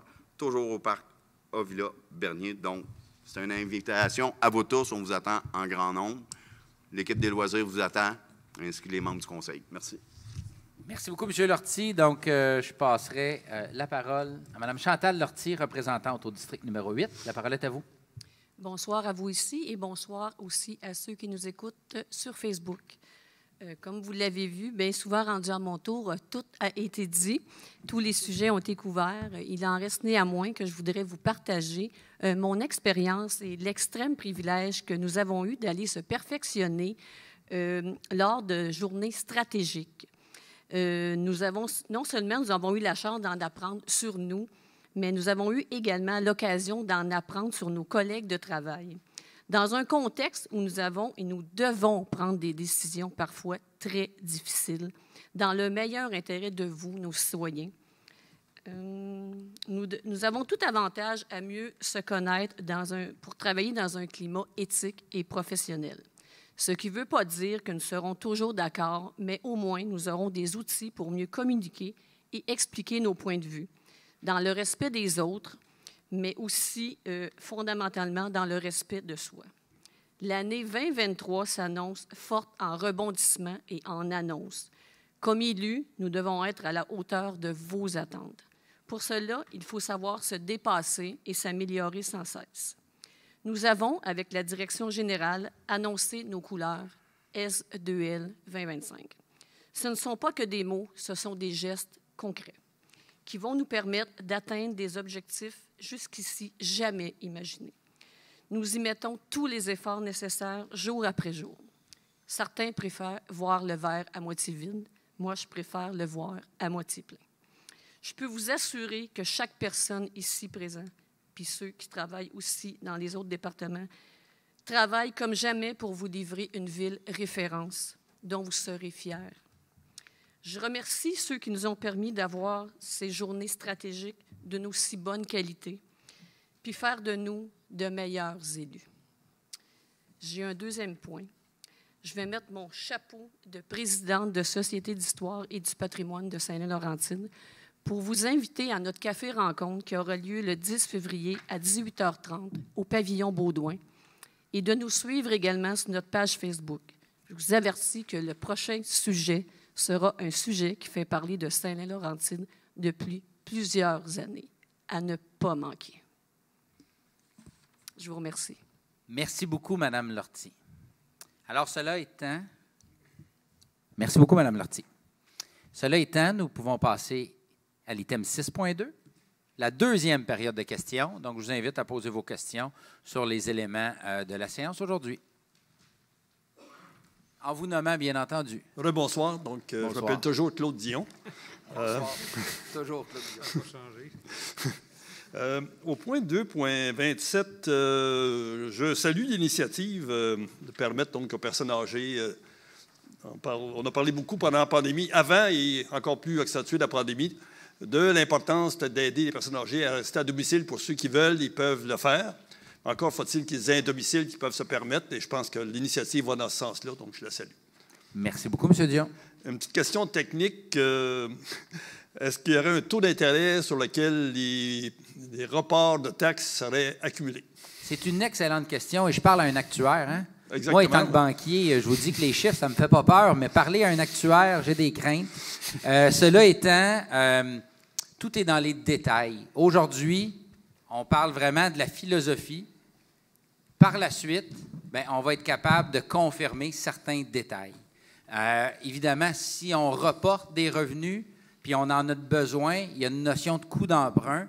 On discutera en conseil, on regardera les options, puis dans tous les cas, ça va être fait en toute transparence, M. Dion, mais c'est l'une des questions qui devra être répondue.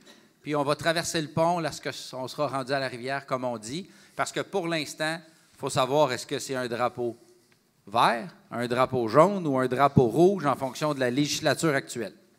Très bien. Euh, à 4.3, en fait, on parle de. Je salue, c'est une autre initiative que je salue également. Entre autres, accès piétonnier. Et euh, je me en fait, je vais peut-être, je l'ai fait en privé, mais je vais le faire publiquement, dénoncer le, nouveau euh, emplacement du bureau de poste, où on a pris quelque chose qui est central de notre village pour le mettre à l'extérieur de la ville, où il n'y a même pas d'accès piéton. Donc, je suis allé quelques fois euh, dans l'accotement, en très loin, et puis un peu au risque de ma vie. Euh, donc, euh, pour moi, c'est en départ, c'était une décision stupide qui, était, qui relève évidemment du Poste Canada, que la ville n'avait pas son. Mais qu'il n'y a, pas de sens dans le monde moderne. Peut-être qu'en 1950, ça aurait été une bonne décision avec un beau grand stationnement, mais on essaye aujourd'hui d'encourager la mobilité, transport actif, etc. Donc, ils ont manqué de bateaux. Est-ce qu'on va quand même y remédier par un accès piétonnier sécuritaire? Donc, M. Dion, on a parlé euh, de mettre en place, que ce soit pour l'apaisement ou que ce soit là, pour euh, la notion de vélo, de mettre en place des secteurs euh, prioritaires. On a parlé des écoles, on a parlé de certains liens.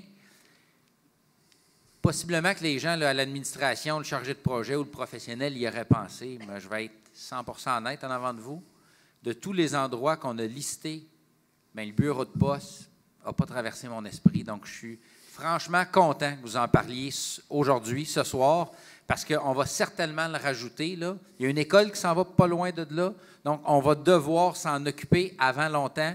On n'attendrait pas l'école en 2026 pour le faire. On a une bonne raison de le faire maintenant pour donner un accès au bureau de poste. Puis ça, on peut commencer par ça. Là. On veut un milieu de vie où les gens peuvent se déplacer autrement qu'en voiture.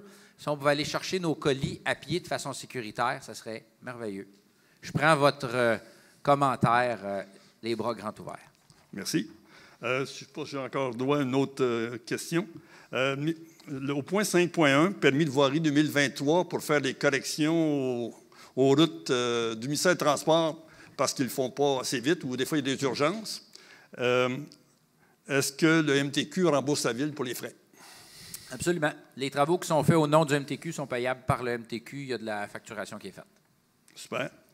Et un dernier point, je veux peut-être faire allusion à ce que M. Cyr, c'est que la mère nature est de plus en plus capricieuse. Il appelle ça des réchauffements climatiques euh, pour les patinoires, entre autres.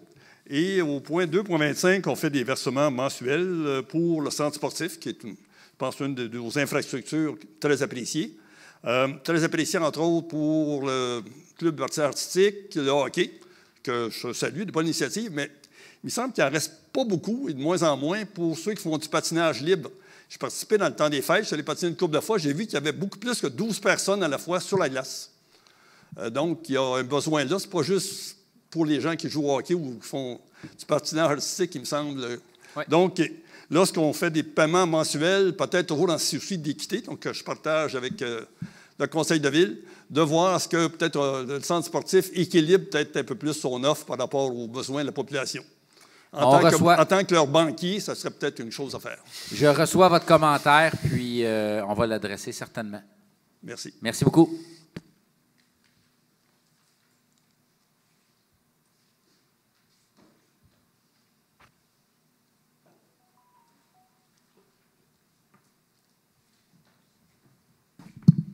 Bonjour.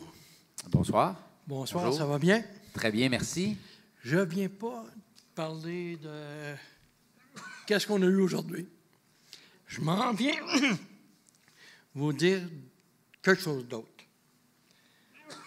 Vous savez qu'ici à Saint-Lin, on a, un, on a un club qui joue à Babette, qui a été formé cette année, puis qu'on est rendu à, à l'école ouais, euh, du Ruisseau. Puis je vous remercier, c'est une super belle place. Mais aussi, on, on s'est affilié avec Cornwall Canada. Puis Cornwall Canada nous a envoyé une lettre, mais deux lettres, que j'aimerais vous lire. Je vous écoute. Est-ce que je peux vous demander une chose avant? Oui. J'aimerais que vous vous identifiez, s'il vous plaît. Richard Lapointe. Merci beaucoup, M. Lapointe. Alors, euh, Je pensais que vous me connaissiez toutes. On vous connaît toutes, mais pour la procédure, euh, c'est important. Euh, je suis tout oui. OK. Puis je suis obligé de vous le lire avec mon téléphone parce que qu'est-ce que j'ai pris en copie? Je ne peux pas le lire. Je ne le vois pas. Pas de souci. Attendez une seconde.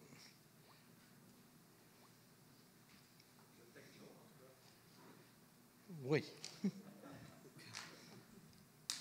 Pendant que vous cherchez, là, euh, ceux et celles qui se demandent la babette, c'est quoi le jeu? Ici ou à la maison, là? Fermez vos oreilles, monsieur. Vous n'aimerez pas ça. C'est- le jeu de poche, mais avec un trou. En plein ça. C'est vraiment le fun, là. Je vous le dis, c'est le fun de jouer à ça, là. Mais à toutes les fois, je dis c'est le jeu de poche. Vous me faites, non, non, là, il y a juste un trou, mais c'est exactement ça. Bien, vous êtes invité, vous pouvez venir aussi à tous les dimanches de 1h à, à 5h. Ça joue fort, hein? Oui. Je vous écoute. OK. Conlord Canada a annoncé que la ligne Conlord-Laurentide, qui s'appelle, qui est notre nom, comme sa nouvelle ligne monte, les, les lignes se jouent dans la ville de Saint-Lin-Laurentide. Saint-Lin est situé environ à 65 km au nord de Montréal et compte 25 000 habitants. Saint-Lin a été formé le 1er mars 2000 lors de la fusion de la municipalité de Saint-Lin et la ville de Laurentide. Nous attendons de grands joueurs aux championnats nationaux de cette ligne. Bonne chance à Richard et son équipe. Là, j'en ai un autre. Ben, c'est excellent. Vous faites rayonner notre ville? Oui, monsieur. Puis pas que ça, ça, ça vient de Toronto. C'est des anglophones qui nous parlent. Ouais. Attendez.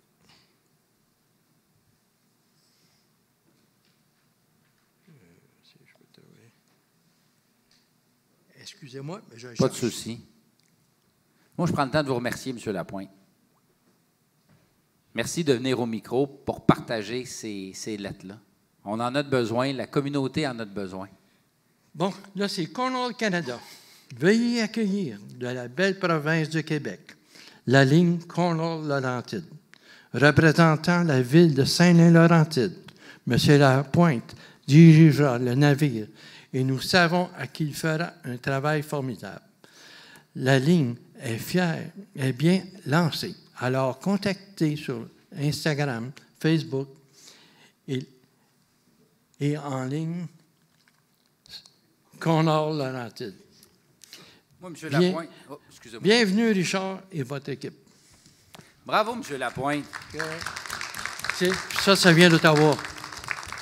Au moins, Merci. on s'en va vers, vers le haut. Merci. Euh. Puis certainement, on, on- on avance par en avant. On est en train de graver la plus haute des montagnes. Puis au final, euh, je tiens à souligner votre participation dans la communauté. Vous vous faites pas juste jouer à la babette, hein? Euh, vous êtes très impliqué dans les Jeux de la MRC. D'ailleurs, vous avez remporté là, avec votre équipe le trophée cet été qui est fièrement exposé à l'entrée de l'Hôtel de Ville.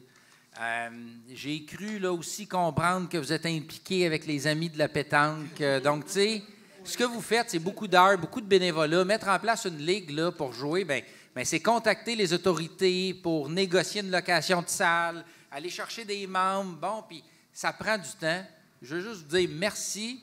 Puis, euh, ça sera un plaisir d'aller me faire battre à plat de couture au jeu de poche avec des gens qui savent vraiment jouer. En passant, c'est un travail à temps plein. Bravo. Fait que merci à vous. Merci beaucoup de ce commentaire-ci et de la lettre. Si vous êtes capable de nous envoyer une copie, euh, on va s'organiser pour la faire encadrer puis vous la remettre par la suite. Cela étant, euh, j'invite les gens qui ont des questions, commentaires.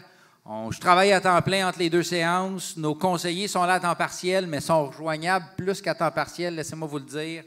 Euh, on travaille fort, on fait beaucoup de choses, puis on fait nos choses pour une raison, pour les citoyens et les citoyennes, pour répondre à vos besoins, à vos demandes, à vos aspirations, créer un environnement où c'est agréable vivre, puis on est capable de les expliquer nos décisions. Je ne peux pas promettre que c'est toujours les meilleurs, parce qu'il faut être dans le futur pour le savoir. Mais si vous voulez comprendre, si vous voulez discuter, si vous voulez nous inspirer, ben on est ouvert. Puis on est rejoignable aujourd'hui, ben, réseaux sociaux, téléphone, Internet, même en personne. Donc j'en profite pour vous souhaiter un excellent mois de janvier. Puis je vous dis euh, au plaisir de vous rencontrer. Est-ce qu'on a une personne pour lever l'Assemblée? Je la propose. Bon, ben, Je la seconde. la séance est levée. Je vous remercie tous et toutes. Puis à la prochaine.